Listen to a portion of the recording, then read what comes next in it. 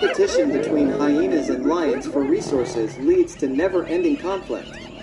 This type of behavior makes the two species mortal enemies. Hyenas always outnumber lions, and this helps them to be so aggressive against